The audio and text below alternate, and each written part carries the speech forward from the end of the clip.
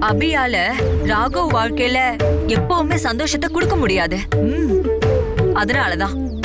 இது தப்பா இருந்தாலும் பரவாயில்லன்னு நான் உன் பக்கம் நிக்கிறேன். ஆனா என்ன பண்றது ஆண்டி? நடந்தது எதையும் மாத்த முடியாதே. நீ நினைச்சா கண்டிப்பா மாத்த முடியும். என்ன சொல்றீங்க? என்னால எப்படி ஆண்டி மாத்த முடியும்? ராகவ் மட்டும் உங்க வீட்ல உன் கூட ஒரு நாள் முழுக்க தங்குற சூழ்நிலைய நீ ஏற்படுத்திட்டா அவன் மனசுல இருக்கிற துக்கத்தை உன்கிட்ட அப்படியே கொட்டிடுவான்